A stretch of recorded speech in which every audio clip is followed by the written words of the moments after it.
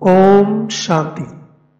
আজি মুরলী তাৰিখ বিশ জুন দুহেজাৰ তেইছ বাবাই কৈছে, মৰমৰ সন্তানসকল, দেহকে ধৰি তোমালোকৰ যি আছে, তাৰ পৰা মমত্ব আঁতৰাই দিয়া।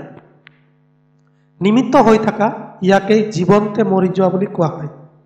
প্ৰশ্ন সুধিছে বাবাই সংগমযোগী ব্ৰাহ্মণৰ উপাধি কোনটো? পিতাৰ পৰা তেওঁলোকে কোনটো আটাইতকৈ উত্তম পুৰস্কাৰ প্ৰাপ্ত কৰে? উত্তৰত কৈছে বাবাই তোমালোক সংগমযোগী ব্ৰাহ্মণসকল হৈছা ৰাজঋষি ৰাজযোগী আগৰ তত্বাৱধান লোৱাৰ নিমিত্ত হোৱা। তোমালোকে উচ্চতকৈ উচ্চ সদাগৰৰ দ্বাৰা বহুত শ্ৰেষ্ঠ দক্ষিণা পোৱা।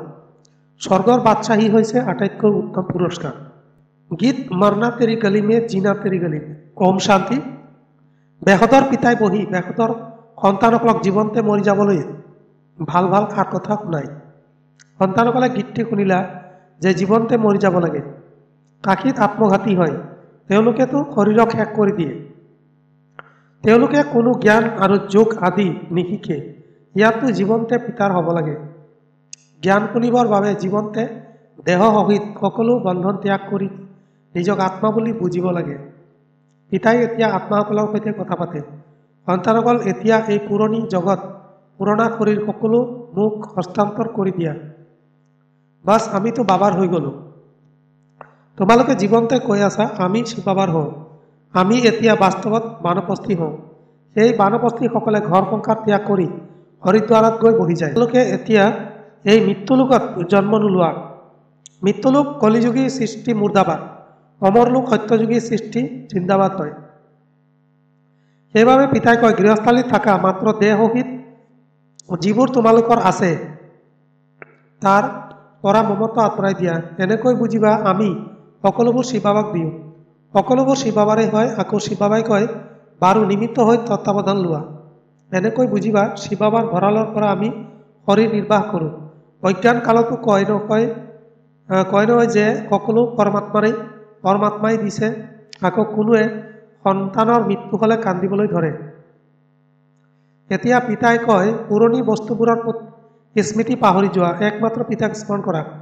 যিজন পিতাই নতুন সৃষ্টিৰ বাবে নতুন ৰাজ্য ভাগ্য দিয়ে, ঘৰ গৃহস্থালী থাকিও এনেকৈ ভাবা যে এই সকলোবোৰ শিৱবাৰ আমি শিৱবাৰ ভঁৰালৰ পৰা খাওঁ।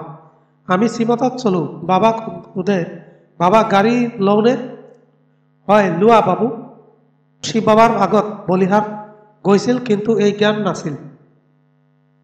ইয়াতো পৰমপিতা পৰমাত্মাই বহি জ্ঞান শুনায়।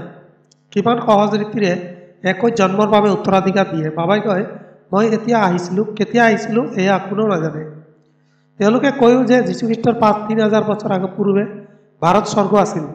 এতিয়া সেই স্বৰ্গ কোনে স্থাপন কৰিলে? দেৱী দেৱতাসকল স্বৰ্গলৈ ক'ৰ পৰা আহিল? গায়নো কৰে মনুষ্যৰ পৰা দেৱতা কৰি তুলিবলৈ ভগৱানৰ সময় নালাগে। তেওঁ কেতিয়া আহিল নিশ্চয় কলিযুগৰ অন্ত আৰু সত্যযুগৰ আদিৰ সংগমতে আহিব। নিশ্চয় কলিযুগৰ অন্ত আৰু সত্যযুগৰ আদিৰ সংগমতহে আহিব। সংগবোৰৰ দৰে নহয়। সত্য পিতাই বহি সন্তানসকলক পঢ়ায়। বাবাই বুজাইছে ভক্তি মাৰ্গতো যথাযথ, দুগৰাকী পিতা থাকে। এগৰাকী শৰীৰৰ লৌকিক পিতা, দ্বিতীয়গৰাকী আত্মাৰ পাৰলৌকিক পিতা। আত্মাই এই পাৰলৌকিক পিতাক স্মৰণ কৰে। হে ঈশ্বৰ পিতা, ভিন্ন ভিন্ন নাম ৰূপেৰে স্মৰণ কৰে। লৌকিক পিতাৰ পৰা দাপৰৰ পৰা প্ৰতিটো জন্মতে উত্তৰাধিকাৰ লৈ আহিছা। এনেকুৱাটো নহয় যে সত্যযুগতো লৌকিক পিতাৰ উত্তৰাধিকাৰ লৈ আহিলে। নহয় সত্যযুগত লৌকিক পিতাৰ পৰা যি উত্তৰাধিকাৰ লোৱা, সেয়া এই সময়ৰ ইয়াৰেই উপাৰ্জন। ইয়াত তোমালোকে ইমান উপাৰ্জন কৰা যে একৈছ জন্মৰ বাবে উত্তৰাধিকাৰ লৈ লোৱা। সত্যযুগত যি উত্তৰাধিকাৰ পোৱা, সেয়া তোমালোকে এতিয়া পুৰুষাৰ্থৰে পোৱা। বেহদৰ পিতাৰ পৰা বেহদ বেহদৰ উত্তৰাধিকাৰ প্ৰাপ্ত কৰা। পিতাইহে পতীত পাপ সৃষ্টিক পাৱন সৃষ্টি কৰি তোলে। এয়া হৈছে লক্ষী ৰূপী লক্ষৰূপী চাবোন যাৰ দ্বাৰা পবিত্ৰ হয়। পিতাই কয়, নিজক অশৰীৰী বুলি ভাবা। তোমালোকে আত্মাসকলে কাণৰ দ্বাৰা শুনা কৰা। আকৌ দাপৰৰ পৰা লৌকিক পিতাৰ দ্বাৰা অল্পকালৰ বাবে উত্তৰাধিকাৰ লৈ আহিছে। ভিন্ন নামৰূপ দেশকালত স্মৰণ তথাপিও সেই পাৰলৌকিক পিতাক কৰা। আত্মাই স্মৰণ কৰে, কয়, এয়া মোৰ শৰীৰৰ লৌকিক পিতাই দিছে। গতিকে দুগৰাকী পিতা নহ'ল জানো? এতিয়া তোমালোকে সন্তানসকলে জানা যে তৃতীয়গৰাকী পিতাও আছে, প্ৰজাপিতা ব্ৰহ্মা। তোমালোক বাস্তৱত ব্ৰহ্মা কুমাৰ কুমাৰী হোৱা। এগৰাকী লৌকিক পিতা, দ্বিতীয়গৰাকী পাৰলৌকিক, নিৰাকাৰী পিতা। তৃতীয়গৰাকী হৈছে এই অলৌকিক পিতা। প্ৰজাপিতা বুলি গায়ন কৰা হৈছে, কিন্তু মনুষ্যই নাজানে। ভাবে, ব্ৰহ্মাটো সূক্ষ্মৱতন বাকী। তোমালোকে জানা, ব্ৰহ্মাটো হৈছে আকাৰী পিতা। এতিয়া তোমালোকে পৰলোকলৈ যাবলৈ প্ৰস্তুতি চলাই আছা। তোমালোক জীৱনতে সকলো বানপস্থি হোৱা। বাণীৰ শিপাৰে যাব লাগে। এই শৰীৰ নিশ্চয় এৰি যাব লাগিব। মৃত্যু সকলোৰে হ'ব। মনুষ্যই বানপ্ৰস্থ গ্ৰহণ কৰে। সাধুকন্ত আদিৰ পৰা মন্ত্ৰ লয়। কিন্তু তেওঁলোকে নাজানে যে এই শৰীৰ এৰি আমি মৰমৰ ঘৰলৈ যাম। স্মৃতিত থাকি পাৱন হৈ বাবাৰ ওচৰলৈ যাম। বাবাৰ পৰা একৈছ জন্মৰ বাবে উত্তৰাধিকাৰ ল'ম গতিকে লৌকিক পিতাও আছে ব্ৰহ্ম বাবাও আছে আৰু শিৱ বাবাও আছে। যথাযথ তিনিগৰাকী পিতা আছে নহয় জানো? ইয়াত অন্ধশ্ৰদ্ধাৰতো কোনো কথা নাই। ভোমোৰাই বিষ্ঠাৰ পোক লৈ আহে আৰু ভো ভো কৰে। আকৌ সেই পোকবোৰৰ মাজৰ যিবোৰ সিহঁতৰ নিজৰ আঁতৰ হয় জাতৰ হয় সেইবোৰ নিজৰ সমান হৈ যায়। বাকী যিবোৰ অন্য জাতৰ সেইবোৰ পচি যায়। ইয়াতো তোমালোকৰ ওচৰলৈ যিসকল আহে তেওঁলোকৰ মাজতো যিসকল দেৱী দেৱতাৰ ধৰ্মৰ হয় তেওঁলোকে ভালকৈ বুজি পাব বাকীসকলৰ পুথিত ধাৰণ নহ'ব। তেওঁলোক হৈছে ভোমোৰা আৰু তোমালোক হৈছে ব্ৰাহ্মণ ব্ৰাহ্মণ। তোমালোকৰ পেচা হৈছে বিষয় সাগৰৰ বিকাৰী কুকুৰক লৈ আনি ভু ভু কৰা। কি ভু ভু কৰিব লাগে? এয়া তোমালোকৰ পাৰলৌকিক পিতা পিতাই কয় মই তোমালোক সন্তানসকলক উত্তৰাধিকাৰ দিবলৈ আহিছোঁ। আমি যিসকল ব্ৰহ্মাকুমাৰীক এতিয়া নিৰ্বাণ ধামলৈ যাব লাগে য'ৰ পৰা আহি ভূমিকা পালন কৰিছোঁ এয়া বহুত জন্মৰ জন্মৰ অন্তৰো জন্মৰ সময়। এতিয়া তোমালোকে অমৰ লোকলৈ যাবৰ বাবে অমৰ কথা শুনি আছে। জ্ঞানৰ সাগৰ এজনেই পৰমপিতা পৰমাত্মা। ব্ৰহ্মা জ্ঞান সাগৰ আৰু বিষ্ণু জ্ঞান সাগৰ বা শংকৰ জ্ঞান সাগৰ বুলি কেতিয়াও কোৱা নহয়। একমাত্ৰ শিৱ হৈছে জ্ঞানৰ সাগৰ। জ্ঞান সূৰ্য উদয় হ'ল।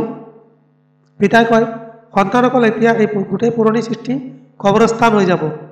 পৰিস্থানৰ স্থাপনা হৈ আছে, যাক স্বৰ্গ বুলি কয়। গতিকে ইয়ালৈ তোমালোকে আহি জীৱনতে মৰি যোৱা। বাবা, আমি আপোনাৰ। আধা কল্পৰ পৰা তোমালোকে পিতাক আহ্বান জনাই আহিছা। এনেকৈ কোৱা বাবা আমি বহুত হাবাথৰি খাই আহিছোঁ এয়া ড্ৰামাৰ নিয়তি। এতিয়া আকৌ মই তোমালোকক একৈছ জন্মৰ বাবে উত্তৰাধিকাৰ দিওঁ। তোমালোকে জানা পিতাৰ হৈ গ'লে মনুষ্যৰ পৰা দেৱতা হৈ যায়। কিছুমানটো উত্তৰাধিকাৰী হয় যিসকলক নিজৰ সন্তান বুলি কয় অন্যসকল হৈছে সতীয়া যিসকল পবিত্ৰ নহয়। কেৱল বাবা বাবা বুলি কয় কিন্তু জীৱনতে মৰি নাই সতীয়া ইয়ালৈ কোনো ভিকাৰী আহিলে সোধা হয় যে জীৱনতে মৰি গৈছানে? প্ৰতিজ্ঞা কৰিছানে যে পিতাৰ ওচৰলৈ আহিলে তেতিয়া উত্তৰাধিকাৰ পাবা? মাতাসকলে নিজৰ জীৱন সফল কৰি আছে। ইয়াৰ ৰাজধানী স্থাপনা হৈ আছে। শিৱাবাতো দাতা হয়। তোমালোকো এনেকৈ নাভাবিবা যে আমি শিৱাবাক দিওঁ নহয় আমি তেওঁৰ পৰা স্বৰ্গৰ বাদশ্বাহীৰ উত্তৰাধিকাৰ দিওঁ শিৱাবাই জানো নিজৰ বাবে ঘৰ আদি নিৰ্মাণ কৰিব লাগে। সেয়া তোমালোক সন্তানসকলৰ কামত লাগে।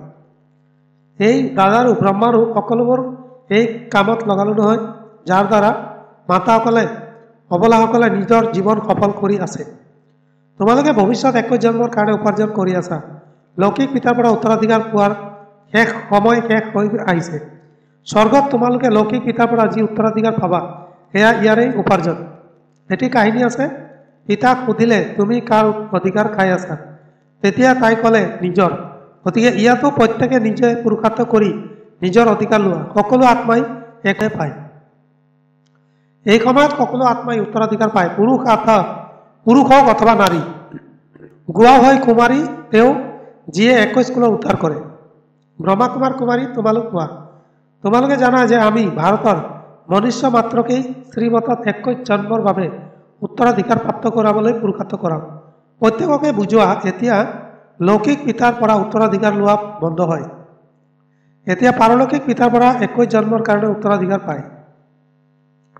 এয়া উপাৰ্জন কিমান শ্ৰেষ্ঠ বুজিবলগীয়া কিমান ভাল কথা আছে। অন্তৰেও বিচাৰে পুৰুষাৰ্থ কৰোঁ কিন্তু মায়াই আকৌ ধুমুহাত লৈ আনে। মায়াৰ ধুমুহাই লাগিলে বন্তি নুমাই যায়। কথাবোৰ একেবাৰে সহজ। নিজক আত্মা বুলি বুজি পিতাক স্মৰণ কৰিব লাগে। এয়া হৈছে বুদ্ধিৰ কথা। আমি পিতাক স্মৰণ কৰিব লাগে শৰীৰৰ বোধ ত্যাগ কৰিব লাগে। তোমালোক গুৰুসকলক স্মৰণ কৰা। বহুত গুৰুৱে নিজৰ চিত্ৰ তৈয়াৰ কৰি শিষ্যসকলক দি দিয়ে। ডিঙিত ওলমাই লোৱা। এনেকুৱা বহুত আছে চা মানৱস্থ অৱস্থা। এতিয়া মৰমৰ ঘৰলৈ নিশ্চয় যাব লাগে। কিন্তু তেন্তে কিয়নো আমি পবিত্ৰ হৈ থকাৰ প্ৰতিজ্ঞা নকৰোঁ আৰু স্মৃতিত থাকি বিকৰ্ম বিনাশ নকৰোঁ। কাকো দুখ দিব নালাগে সকলোতকৈ ডাঙৰ দুখ হৈছে কামৰূপী কটাৰী চলোৱা। এইখন হয় কংসপুৰী। কোৱা হয় কৃষ্ণপুৰীত কামৰূপী কটাৰী নচলে। ইয়াত কামৰূপী কটাৰী চলে সেয়েহে ইয়াক কংসপুৰী বুলি কোৱা হয়। বাকী সকলো অসুৰ আৰু দেৱতাসকলৰ পাণ্ডৱ আৰু কৌৰৱৰ যুদ্ধ লগা নাই। যুদ্ধ হৈছে যৌৱন যাদৱ আৰু কৌৰৱসকলৰ মাজত। সন্তানসকলে সাক্ষাৎকাৰ কৰিছে মাখন আমি পাম আমি আহি ৰাজ্য কৰিম। সন্তানসকলে সোধে বাবা ইমান ঘৰ কিয় নিৰ্মাণ কৰিছে? এতিয়াতো দল পাতি আহে তেতিয়াহে কোনোমতে থাকিব পাৰে। সেয়েহে ইমানবোৰ সন্তানে আশ্ৰয় বিচাৰি আহি ক'ত থাকিব? দিনে প্ৰতিদিনে বৃদ্ধি হৈ গৈ থাকে। প্ৰজাপিতা ব্ৰহ্মাৰটো বহুত সন্তান হৈ যাব। শিৱবাই কয় নাই মই কিমান সন্তানৰ পিতা? এয়া কুটিৰ মাজত কোনোবাইহে জানে। তোমালোকৰ মাজতো ক্ৰমানুসৰি আছে। বুজিও পায় যে আমি শিৱবাৰ পৰা উত্তৰাধিকাৰ লৈ আছোঁ। আকৌ কেতিয়াবা কিছুমান মহান সন্তান মূৰ্ছিত হৈও যায়। সন্তানসকলে জানে, আমি এই ব্ৰহ্মাৰ দ্বাৰা শিৱ আৰু শ্ৰীমতত চলোঁ। পিতাই কয়, এয়া ঋণত লোৱা শৰীৰ। বহুত জন্মৰ অন্তৰ জন্মৰো অন্তৰ। পুৰণি সৃষ্টিত পুৰণা শৰীৰত আহিছোঁ। এতিয়া মামে কম, কেৱল মোক স্মৰণ কৰা। মই মাৰ্গদৰ্শক হৈ আহিছোঁ। ঈশ্বৰ পিতাক মুক্তিদাতা বুলি কোৱা হয়। মনুষ্যই মনুষ্যক ক'ব নোৱাৰে। গোটেই জগতক মুক্ত কৰে। এই সময়ত গোটেই বিশ্বখনেই লংকা শোকবন যদিও বা ধনৱান লোকে নিজক স্বৰ্গত থকা বুলি ভাবে কিন্তু এই সকলোবোৰ মাটিত মিলি যাব।